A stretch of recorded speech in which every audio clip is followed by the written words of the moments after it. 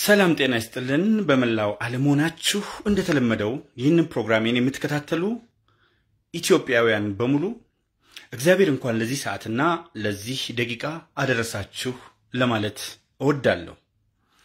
አንዳንድ ጊዜ ኢትዮጵያዊነት ከነፍስና ስጋችን ጋር የተሸመነ ከደምና አጥንታችን ጋር የተዋሃደና የተሳሰረ ሲሆን ስሜታችንን መቆጣጠር እስከሚያቅተን ድረስ የሚፈጠሩ ሁነቶች አሉ። ኢትዮጵያዊነት ያኮሰሱት ሲመስል የሚገዝፍ፣ የጠየመ ሲመስል የሚቀላ፣ ደበዘዘ ሲሉት በብርሃን የሚጥለቀለቅ አንዳች ልዩ ስሜት ነው ኢትዮጵያዊነት። ሰሞኑን የአድዋን ድል እጅግ በጣም በሚገርምና በሚያስደምም ሁኔታ በርካታ ኢትዮጵያውያን አክብረውታል፣ ከጥቂት የባንዳ ውላጆች በስተቀር።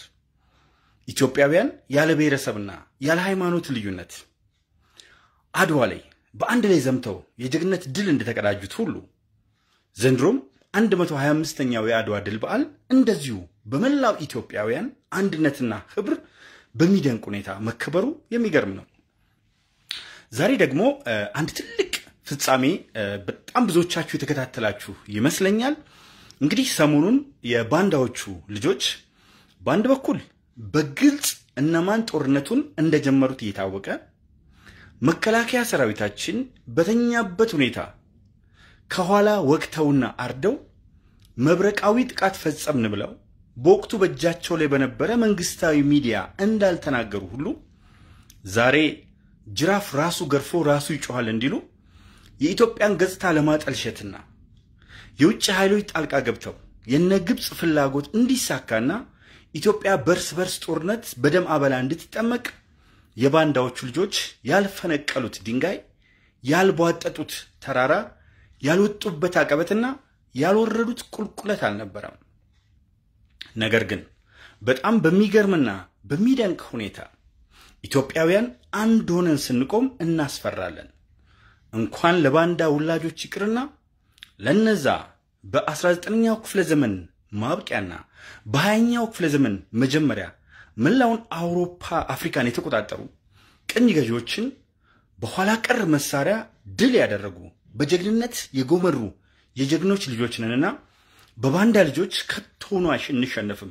ነገር ግን እንቁራሪቶች ኩሬ ዳር ሆነው ሲጮሁ ውቅያኖስ ውስጥ ያሉ ግዙፍ ፍጥረታት ዝም ማለታቸው ነፍሴን እሳት ላይ እንዳረፈች አንዲት በራሪ አካል ኩምትር አድርጓት ነበር። ጮኸንም ነበር። ዛሬ በሚደንቅ ሁኔታ ዋሽንግተን ዲሲ በብዙ ሺህ እጥፎች ሰላሳ አምስት መኪና ይዘው እርስ በርስ ከፖል ጋር እየተጋጩ ተደናጊረይ ሲሉ ኢትዮጵያውያን በሚያስገርም አኳኋን ከኤርትራውያን የዘመናት ወንድሞቻቸው ጋር አንድ በመሆን በኤርትራና በኢትዮጵያ መካከል ያለው የጸብ ግድግዳ ፈርሶ የጥል መጋረጃ ተቀዶ በአዲስ ምዕራፍ የኤርትራና የኢትዮጵያ ሰንደቅ ዓላማ ጎን ለጎን ነው። የኤርትራና የኢትዮጵያ ወንድማማቾች አንድ ላይ ሆነው በክፉ ቀን ደራሽ የሆኑ ኤርትራውያን ወንድሞቻችንና እህቶቻችን ከኢትዮጵያውያን ጋር ሆነው በምስራቅ አፍሪካ በአፍሪካ ቀንድ ጫፍ ላይ እንደ አናብስት ሲያገሱ በእርግጠኝነት ዋሽንግተን ዲሲ ርዳለች። እንደውም ምን ነው ተነስቼ ድንገት በሬ ዲሲ በደረስኩና በዚህ ሰልፍ ላይ በተገኘው ኖሮ የሚያስብል ስሜት ውስጤ ተፈጥሯል። እጅግ በጣም የሚደንቅ የሚያስደምም ዛሬ የአድዋ ድል ተደገመ። ዛሬ መከላከያ ሰራዊታችን በስግብግቡ ክልላዊ ጁንታ ላይ ልብ አድርጉ፣ ጁንታ አይባልም። ጁንታ በሀገር ደረጃ ስልጣን ነጥቆ የያዘ ኃይል ነው። ይሄ ግን በክልል ደረጃ ስለሆነ ክልላዊ ጁንታ ነበረ። አርባ ስድስት ዓመት ፎክሮ በአስራ ስድስት ቀን የፈረጠጠ አሳፋሪ ቡድን ሽንፈቱን በባንዳ የውላጅ ውላጆች ለማካካስ በዓለም አቀፍ ደረጃ ብዙ ነገር አድርጎ ነበር፣ ግን ከቶውኑ አልቻለም። በምንም ተአምር ዛሬ ወጧ የእነዚህ የአርበኞች ልጆች አረንጓዴ፣ ቢጫ፣ ቀይዋና ኤርትራን ሰንደቅ ዓላማ ጎን ለጎን አድርገው በሚገርም ሁኔታ ዋሽንግተን ዲሲን አጥለቀለቋት። መቼም ይህ ስሜት ብዙዎቻችን ውስጥ ምን እንደፈጠረ መገመት አያዳግትም። ብዙ አይደላችሁ። ቪዲዮቹን ተመልከቷቸው። በቃ ኢትዮጵያውያን እንዲህ ስንሆን ነው የሚያምርብን። እንዲህ አንድ ስንሆን በፖለቲካ አመለካከት እንለያይ፣ በተለያዩ አይነት ሁኔታዎች እንለያይ። ሀገራዊ በሆነ ጉዳይ ላይ በሉዓላዊነታችን ጉዳይ ላይ ግን በምንም ተአምር በምንም ሁኔታ እንደማንደራደር ማሳየት አለብን። ያለውን መንግስት መደገፍ፣ ያለውን መንግስት መቃወም፣ ፓርቲ መደገፍ፣ ፓርቲን መቃወም ለዘለቄታዊ ጥቅማችን እስከሆነ ድረስ ጤናማ ነው። ነገር ግን ኢትዮጵያ በምትባለው ሀገራችን ጉዳይ ላይ በኢትዮጵያ ሕዝብ ህልውና ላይ በሉዓላዊ ዳር ድንበራችን ላይ ተደፍሮ ሶሪያ ገብተው አሜሪካውያን አዋክተው ነው የወጡት። ሶማሊያ ገብተው አዋክተው ነው የወጡት። ኢራቅ ገብተው አዋክተው ነው የወጡት። እነዚህ አሲዳሞች የገቡበት ቦታ ሁሉ ላይ ብጥብጥ ነው የሚያስነሱት። ስለዚህ ወደ እኛ ድንበር አይሞክሯትም፣ እናልቃታለን እንጂ ሊገቡ የሚችሉበት ሁኔታ በምንም ተአምር አልነበረም። በፈለገው መንገድ ቢመጡ አንገታቸውን ያነቀ ጉድጓድ ውስጥ የሚወረውር ኢትዮጵያውያን ልክ እንደ ጣሊያን ጣሊያን አምስት ዓመት በነበረችበት ጊዜ ሶስት አራተኛው መሬት የኢትዮጵያ ክፍል ከከተሞች አልፈው መያዝ አልቻሉም ነበር። የነዛ አንበሶች አናብስት ልጆች ዛሬም አለን። ግን ዛሬ በዓለም አደባባይ ላይ ፊት ለፊት አሳይተናል። በዚህ ተደስቻለሁ። አንደኛ በዚህ ላይ ብዙ አልልም። በቃ በአጭሩ ተደስቻለሁ። ኢትዮጵያን የሚያምርብን አንድ ስንሆን ነው። እነዚህ ባንዳ ውላጆች እንደ እንቁራሪት በጮሁ ቁጥር ኩሬዳር ሆነው እነ ዶልፊን፣ እነ አሳ ነባሪ፣ እነ ሻርክ፣ እነ ግዙፍ ፍጥረታት ዝም ልትሉ አይገባም። እነሱ የእንቁራሪት ቁርቁርታቸውንና የእንጭራሪት ጭርጭርታቸውን እንደ ወደል አህያ ሜዳ ለሜዳ እየተንከባለሉና ከፖል ጋር እየተጋጩ በአሳፋሪ ስብዕናቸው ግፋቸውን ሊሸፍኑ በዓለም ፊት የማይካድራን ከአንድ ሺህ አንድ መቶ በላይ ሰዎች ጭፍጨፋ። በማይገመት ቁጥር ሁመራ አካባቢ የተገኙ የጅምላ መቃብር ለሰላሳ ዓመታት የኢትዮጵያንን ደም የመጠመጡትን ለመሸፈን በመላው ዓለም ሲርመጠመጡ በሎቢስቶች ሲቀብጡ ከኛ የዘረፉትን ዶላር እያፈሰሱ በመላው ዓለም ላይ የአገራችንን ገጽታ ሊያጠለሹ ሲሞክሩ እንዲህ አንድ ሆናችሁ በሌላ ነገር ልንከራከር እንችላለን። በፓርቲና በመንግስት ልንደራደር እንችላለን። በሀገርና በሕዝብ ጉዳይ ግን አንደራደርም ብላችሁ በመውጣታችሁ በመላው አሜሪካ፣ በመላው ካናዳ የምትገኙ ክብር ምስጋና ይገባችሁ። እንግዲህ በአውሮፓ ውስጥም እየተጥለቀለቀ ነው። መላው ኢትዮጵያ እነዚህን ህዳጣን፣ እነዚህን አናሳዎች፣ እነዚህን ኮሳሳዎች ማሳነስ በጣም አስፈላጊ ስለሆነ አሁንም እባካችሁ አተኙ። ለአንድ ቀን ተብሎ አተኙ። እነሱ ሰላሳ አምስት መኪና ይዘው ሰርግ ይመስል በአንድ በኩል ፊኛ ነፍተው ሰርግ ይመስል በሌላ በኩል የአስከሬን እንትን የመሰለ መኪና እየያዙ አሳፋሪ በሆነ ደረጃ ሲወጡ እንዲህ በሚያምር ህብሮታችሁ በዜማ ስታጥለቀልቁት ምን ያህል እንደተደሰትን ፈጽሞ አትጠይቁም። አይታችሁ እንደሆን ቢጫ ወባዎቹ እኔ ገጽ ላይ እንደ ልብ አይምነሸነሹም። ለምን እንደሆን ታውቃላችሁ? አሁን አንዳንድ ጀንትሎች መልስ አትስጣቸው ይላል። መልስ መስጠቴ በሜዳ ነጥብ ለማስጣል በሌሎቹ ሜዳዎች ላይ እንደለመዱት ሲመጡ በሚገባቸው ቋንቋ ለስድ፣ ለባለጌ፣ ላልታረመ፣ ለስግብግብ ጁንታ፣ ለቀን ጅብ ቃላት መምረጥ አያስፈልግም። እነሱ የሚገባቸው በእነሱ ልክ ወርዳችሁ ስትጫወቱ ነው። ከማንቸስተር ጋር ስትጫወቱ፣ ከአርሴናል ጋር ስትጫወቱ፣ ከባርሴሎና ጋር ስትጫወቱ፣ ከሪያል ማድሪድ ጋር በዛ ልክ ነው የምትጫወቱት። ጭምልቅልቅ ባለ የሰፈር ጨዋታ ስትጫወቱ ደግሞ ወርዳችሁ ስትጫወቱ በእነሱ ልክ ጭቃ እየቀባችሁ በደንብ አደብ ማስገዛት እንደሚቻል ከልምዴ ስላየሁት እኔ ገጽ ላይ የታችሁ እንደሆነ ሸረሪቶቹ ብዙም የሉ። ልክ ነው የምናስገባችሁ፣ እንጠርጋቸዋለን ከነ ሸረሪቷ ጭምር። አንደኛ። ሁለተኛው እጅግ በጣም የሚያሳዝን እንግዲህ እንባና ሳቅ ነው ኢትዮጵያ ውስጥ አንዱ ያለው ነገር። በጣም በሚያሳዝንና በሚያሳቀቅ ሁኔታ እነዚህ ለበርካታ ዓመታት ኤርትራ ውስጥ ሆነው እጅ ሲያስታጥቡ የነበሩ ገረድ የኦነግ ሸኔ አባላት ምን የኦነግ ሸኔ ኦነግ አባላት ገረድ የሆኑ አንድም ጎጆ ቤት ይዘው የማያውቁ እጅ ካስታጠቡ በኋላ ከነ አቦይ ስብሃት በአሳፋሪ ሁኔታ ኢሬቻ በፈሰሰው የኦሮሞ ደም አምቦ፣ ሻኪሶ፣ ሞያሌ፣ ሻሸመኔ፣ ዶዶላ በተለያዩ ቦታ በፈሰሰው የኦሮሞ ደም ላይ ከነ ስብሃት ነጋ እጅ ፍርፋሪ በልተው በዛ በኩል የገቡና መሳሪያ እዚህ ከመጡ የታጠቁ ሱሪ ያስታጠቋቸው ውስጥ ያሉ ብልጽግና ውስጥ ያሉ አመራሮች በምንም ተአምር ያለነሱ ድጋፍ እያንዳንዱ የተፈጸመውን ነገር ስትመለከቱ መከላከያ ሲወጣ ይገባሉ፣ ፖሊስ ወጣ ሲባል ይገባሉ።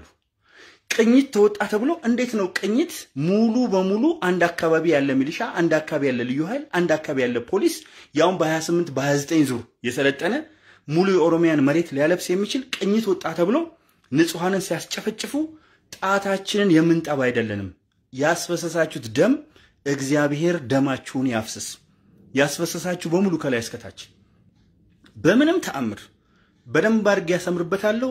ይሄ ቆሻሻ ግብስብስ ኦነግ ሸኔ የሚባል በሴቶች ላይ የሚበረታ በህፃናት ላይ የሚበረታ በአሮጊቶች ላይ የሚበረታ ወንዶች በዋሉበት ውሎ የማያውቅ ከሰላማዊ ሰልፍ እዛ ጫካ ውስጥ ተደብቆ ተመረኩ ከማለትና ንጹሐንን ከመግደል ያለፈ ወንድነት የሌለው ሽንታም ቡድን የወያኔ የግብር ተላላኪ እጅግ በጣም አሳፋሪ ወያኔ እንኳን ጥቂትም ቦታ ቢሆን በሻቢያ እገዛ ይሁን በተለያዩ የዓለም አቀፍ ኃይሎች እገዛ ቢሆን ጥቂት ቦታ ላይ ለመዋጋት ሞክሯል። እነዚህ ሽንታሞች ግን አንድ ቀን ፊት ለፊት ገጥሞ ያውቁ አንድ ቀን ኦነግ የተባለ አንድ ቀን እድሜ ዘመኑን ሽንታም የሆነ ድርጅት ንጹሐንን በማረድ እናቶችን፣ ቀሳውስትን፣ ህፃናትን፣ ንጹሐንን መሳሪያ ያልያዙን አንሰው የተገኙ ሰዎችን በማረድ ከኦሮሞ ገዳ፣ ከኦሮሞ አዳ፣ ከኦሮሞ ሰፉ፣ ከኦሮሞ የሞራል ደረጃ የወረደና የዘቀጠ የኦሮሞን ስነ ልቡና የማይወክል ከየት እንደመጡ የማናውቃቸው ጎግ ማንጉጎች እዚህ ጋር ሆሮ ጉዱር ወለጋ አካባቢ በተደጋጋሚ ጥቃት ይፈጽማሉ። አንድ ጊዜ ቢሆን ይገባናል፣ ስህተት ነው። ሁለቴም ቢሆን ይገባናል። ተደጋጋሚ ሲሆን ግን በእርግጠኝነት የሚተባበራቸው የመንግስት አካል ቁልጭ ባለ ሁኔታ አለ። ፌዴራል መንግስቱ ለዚህ ልክ ከእዛ ጋር ከሚተባበሯቸው ጀምሮ እኩል ተጠያቂ ነው። እኩል ወያኔን የሚያክል ትልቅ ኃይል ሰማንያ እጅ መሳሪያ በእጁ ያስገባ እጅግ የተደራጀና ከኦነግ ጋር ሲነጻጸር መቼም ላኪና ተላላኪ በምንም ተአምር አይገናኝም። ላኪውን በ16 ቀን ገደል ውስጥ የከተተ ገደል ውስጥ እየጎተተ እነዛን ለሰማይና ለምድር የከበዱ ሰዎች ያወጣ ኃይል በምንም ተአምር በምንም አመክንዮ በምንም ስሌት በምንም ሁኔታ ይሄን ግብስብስ ሽፍታ ጥርግ አድርጎ ከህዝብ ነቅሎ እንትን ማለት ከባድ አይደለም። ህዝቡ ሰላማዊ ሰልፍ ወጥቷል። በተለያዩ ቦታ ሰልችቶታል። ከሰባት መቶ ያላነሱ የኦሮሞ ልጆች በኦነግ ሸኔ ወለጋ ውስጥ ብቻ ተገለዋል። ከአንድ ሺህ አራት መቶ ያላነሱ ንጹሐን የኦሮሞ ልጆች እንግዲህ እንደነሱ ወርጄ ነው በዘር የምከፋፍለው በአሰቃቂ ሁኔታ ቆስለዋል። ከአርባ ያላነሱ የኦሮሞ አመራሮች ተገለዋል። ንጹህ የሆኑት የማይተባበሩት በዚህ መዋቅር ውስጥ የሌሉት የማያስገድሉት እየተፈለጉና እየተጠቆሙ በሚያስገድሉት አማካኝነት ተገለዋል። ከአርባ በላይ አመራር መገደሉን እራሳችሁ ኦህዴድ ተብሎ ይጠራ በነበረው ውስጥ አሁን ዶክተር አብይ ወደ ስልጣን ከመጡ በኋላ ከአርባ ያላነሰ አመራር ተገድለዋል። ይህ አመራር የተገደለው ኢትዮጵያውያንን ስለሚወድ የኦሮሞን የሞራል ደረጃና ልክ ስለሚያውቅ ለልክስክሱ ኦነግ ተባባሪ ባለመሆኑ የተነሳ ተባባሪ በሆኑት እየተጠቆመ ነው የተገደለው። በንጽህና የሚታገሉ የኦሮሞ የፖሊስ አባላት በሰፊ ቁጥር ተገለዋል። የኦሮሞን ስነ ልቡና የኦሮሞን የሞራል ከፍታ የያዙ ተገለዋል። ስለዚህ እዚህ ውስጥ ያለውን ነገር ማጽዳት ካልተቻለ ለኢትዮጵያ ወደፊት እጅግ በጣም አስጊ ሁኔታ እንደሚደቅን ጠብታ አጠራጣሪ አይደለም። ስለዚህ መንግስት እንደ መንግስት የመጀመሪያው ከህዝብ ጋር የሚገባው contractual agreement የመጀመሪያው የ contract ስምምነት ወይም በእንግሊዝኛው contractual agreement ህግና ስርዓትን ማስከበር ነው። ግብር የሚሰበስበው legitimate monopoly of overwhelming force። በነገራችን ላይ ዋናው መንግስት ነው ትልቁን ጦር ትልቁን ኃይል መያዝ ያለበት። አሁን ግን የክልል ኃይሎች ፌዴራል መንግስቱን የሚገዳደሩበት ሁኔታ እየተፈጠረ ነው ያለው። ስለዚህ ይሄ እጅግ በጣም አደገኛ የሆነ አካሄድ ካልታረመና ክልሎች ከፌዴራል መንግስቱ እኩል እንበጥ የሚል ትከሻ መለካካት ከጀመሩ ዱካ መለካት ከጀመሩ ዋጋ እንደሚያስከፍል ደጋግመን ደግመን ደጋግመን ተናግረናል። በዚህ በጎሳ በተደራጀ ሀገር በሀያ አንደኛው ክፍለ ዘመን በአስተሳሰብ ሳይሆን በመንጋ በተቧደነ ሀገር ውስጥ እንደ ኢትዮጵያዊነት እንደ ሰው ልጅ አንድ ላይ በማናስብበት ሁኔታ ያሉብን በርካታ ችግሮች እያሉ ገንዘቦቻችን ሁሉ የኃጢአት ውጤት በሆነው ብሔረሰብ በምናጠፋ ሀገር ውስጥ ስርዓት ማስያዝ ከመንግስት ይጠበቃል። ዝም ብሎ መንግስት ለሚሰራው ስራ ሆይ ሆይ ያሉ ይሁንታ መስጠት ብቻ ሳይሆን መንግስት ለሚያጠፋቸው ጥፋቶች ደግሞ በተገቢ ሁኔታ መውቀስ ከተማሩ ሰዎች ከተመራመሩ ሰዎች ብቻ ሳይሆን ከማንኛውም ዜጋ ይጠበቃል። በጭፍን መንግስት የሰራቸውን ግዙፍ ስራዎች የማውረድ ፍላጎትም ምኞትም የለኝም። አይተናቸው የማናውቃቸው እጅግ ታላላቅና ግዙፍ የሆኑ ፕሮጀክቶች እዚች ሀገር ላይ ተሰርተዋል። በአጭር ጊዜ ውስጥ የተሰሩት ትምህርት ቤቶች ብቻ በተለያየ ቦታ የተገነቡ የኢንዱስትሪ ፓርኮች እና የመሳሰሉት ከሚገባው በላይ ደረታችንን በደስታ የሚያሰፉና በመንግስት ላይ ተስፋ እንድንጥል የሚያደርጉ ሀገሪቱ የሚሉ አስቀያሚ ሰዎች ከነበሩበት ተላቀን ኢትዮጵያ ኢትዮጵያ የሚለው ስም ደጋግሞ ጎልቶ ከፍ ማለቱ የጀመርናቸው መልካም የሆኑ የህዝብ ለህዝብ ግንኙነቶችና የመሳሰሉት በሶማሌ ክልል፣ በደቡብ፣ በአፋር፣ በጋምቤላ የመጡ እና በመላው ኢትዮጵያ የመጡ የሰላም ለውጦች በአማራ ክልል እጅግ በጣም እያስደሰቱን፣ በሌላ በኩል ግን መተከል ባለች አንዲት አካባቢና ወለጋ ባለች አንዲት ዞን ላይ እዚህ ቦታ ላይ ያለ ኃይል አቃተን ቢባል እጅግ አስቂኝ ሆን ተብሎ የሚደረግ አጠቃላይ ድባቡን የሚያበላሽ ነው። በነጭ ነጠላ ላይ ያረፈ ጥቁር ነገር ጥቁር ነገር ጎላ ብሎ ይታያል። ስለዚህ መንግስት አሁንም ሙሉ የህዝብ ድጋፍ ለማግኘትና የዚችን ሀገር አስተማማኝ ሰላም አስጠብቆ ወደ ተሻለ እድገት እንድንመነደግ ካስፈለገ ከዚህ ሰዓት በኋላ የአንድም ዜጋ ህይወት መጥፋት የለበትም። በእነሱ ጫማ ውስጥ ቆመን በቤተሰቦቻቸው ሰቆቃ ውስጥ ሆነን ማሰብ አለብን። በየትኛውም ሰዓት ልናልፍ እንችላለን። እጅግ በጣም አውሬ የሆነ አረመኔያዊ የሆነ የጭፍጨፋ ተግባር በንጹሐን ላይ ሲፈጽም እደግመዋለሁ፣ ቃላት አልመርጥም። እነዚህ ሽንታሞች ስል ለምን ትሳደባለህ የምትሉ ሰዎች ታሳዝኑኛላችሁ። የሰው አንገት እኮ ነው የሚታረደው። የሰው ሰውነት እኮ ነው የሚበለተው። ህፃናት እኮ ናቸው፣ አሮጊቶች ናቸው የሚቃጠሉት በመጦሪያቸው እድሜ። በዚህ ላይ ቃላት ምረጥ የምትለኝ አጉል የሞራል ሰባኪ ግሮሰሪ ላይ ተወትፈህ ክትፎን እየዋጥክ ጾማህን እየቆረጥክ ቃላት እዚህ ጋር መተህ በመበለት ለማድማት ታየን ብትሞክር የታየን ጭንቅላት አታደማም። ይህ ትልቅ ቀፈትህን ከርስህን አወርድልሃለሁ፣ ዘረጥጠሃለሁ። ምክንያቱም በምንም ተአምር በሰው ደም ላይ ስለ ቃላት መረጣ ልታወራልኝ ሞራል የለም። ውሸት ነው። ኢትዮጵያውያን የገደለን ውሸት ነው። የውሸት ስብዕና አጉል የሞራል ሰባኪዎች በአፋችሁ የምትናገሩት ሌላ፣ መሬት ላይ የምታደርጉት ሌላ። ሰው በሚገደልበት፣ ሰው በሚታረድበት፣ ሰው እንጨት ለቅሞ በሚቃጠልበት፣ አማን ብሎ በተቀመጠበት ቀይ ላይ አንጀቱና ሰውነቱ የተጣበቀ ቆዳውና አጥንቱ የተጣበቀ ምስኪን በሚገደልበት ሀገር ላይ ስለ ቃላት መረጣ ለማውራት ማነህ ለመሆኑ? ከየት ነው የመጣኸው? ምን አይነት ሞራል ነው ያለህ? ስብከት ነው የቅዱስ ቁርአን ስብከት ወይም የመጽሐፍ ቅዱስ ስብከት ነው እዚህ ጋር የምንናገረው? offensive የሆነ ነገር ነው መጠቀም ያለብን፣ defensive አይደለም። ለእነዚህ መናኛዎች መናኛ መሆናቸውን የወረዱ መሆናቸውን ዝቃጭና ቆሻሻ መሆናቸውን በሚገባ ለትውልዱ ማስረዳት መቻል አለብን። የወረዱ የተዋረዱ ልክስክስ ሰፈር ለሰፈር የሚቅመደመዱ የማይረቡ ውሾች እናቶችን፣ ሕፃናትን የሚገድሉ ቀሳውስትን፣ ሼኮችን የሚያርዱ በማንነታቸው አማራ ስለሆኑ በጅምላ የሚፈጁ ጋሞ ስለሆኑ በጅምላ የሚፈጁ ኦሮሞ ሆነው በፖለቲካ አመለካከታቸው ኢትዮጵያን ስላሉ በጅምላ የሚገድሉ ለእነዚህ ሰዎች ምን አይነት ቃላት እንዲመረጥ ነው የምትፈልጉት?